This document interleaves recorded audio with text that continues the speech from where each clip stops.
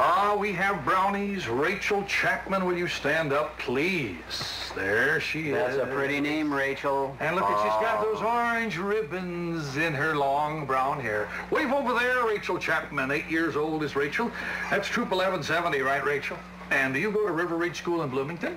Okay, you'll sit down now and we'll see your friends. Who came with her? Let's wave it up, shall we? Yeah, wave a little faster. Come on, girls. Let's go wave all the way out to River Ridge School in Bloomington, Troop 1170. Nice to have you here. Hey, Gail Freeman is with us. Would you stand up? This is a, yet another Brownie group. Wave over there, Gail Freeman, nine years old, Troop 722. You go to Crestview School in Cottage Grove, Gail. Great. All right. Oh, think I'm giggling. I'm on television. She looks very jolly indeed. Why don't you sit down, Gail, and we'll see who came with her. Wave it up, all of Gail Freeman's friends, a big wave there, from Crestview School in Cottage Grove. Is that cottage cheese, did you say? No, no, Cottage Grove, Oh, Willie. sorry, I'm- Uh, not to be confused with Lefty Grove. Uh, Right. Stand up, Carrie Hoganson. Oh, it's a bluebird. Wave over there, Carrie Hoganson. Carrie is eight years old. Kari, is it Kari? Yeah. Carry me back to old Virginia. And Carrie goes to Edgcumbe School in St. Paul. Carrie, before you sit down, are you celebrating something special right now? Huh? What is it? A birthday. For what? Bluebirds and campfire drills. You mean this is the birthday of the Campfire Organization?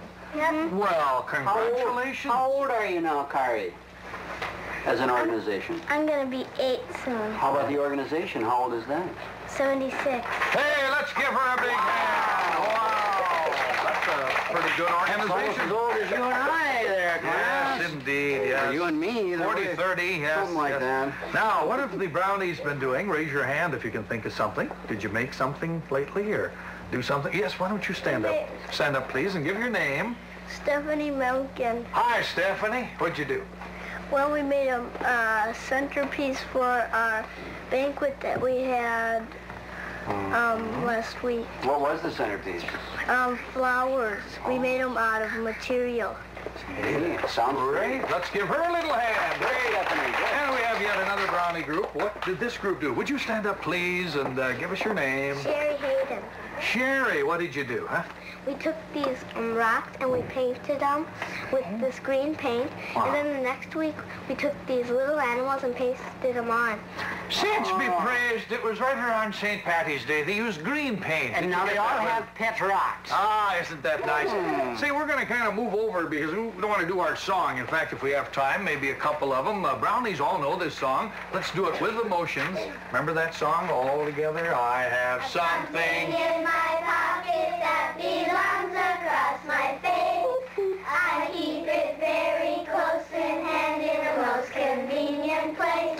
I'm sure you wouldn't guess it if you guessed aloud not wild. So take it out and put it on. It's a great big brownie smile. Hey, that's nice. Now we've got another song that uh, I've enjoyed over the years. It's called Make New Friends All Together. Let's do it nice and loud. Ready?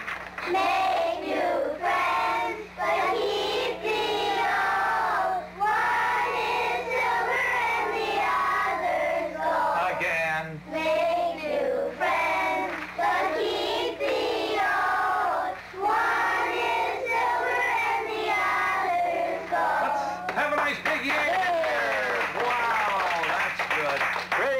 Make new friends, but keep the old. I think that's good advice, whether you're a brownie or a bluebird or a Cub Scout.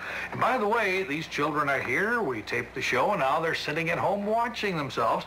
So as soon as Willie and I sign off the show here today, we want you to give a big wave out there, because I have a hunch there's some grandmas and grandpas and uncles and aunts that want to see how you look on Color Channel 4. Thank you all for being with us today. We'll see you tomorrow. Have a good day, gang. So long. See you right here tomorrow.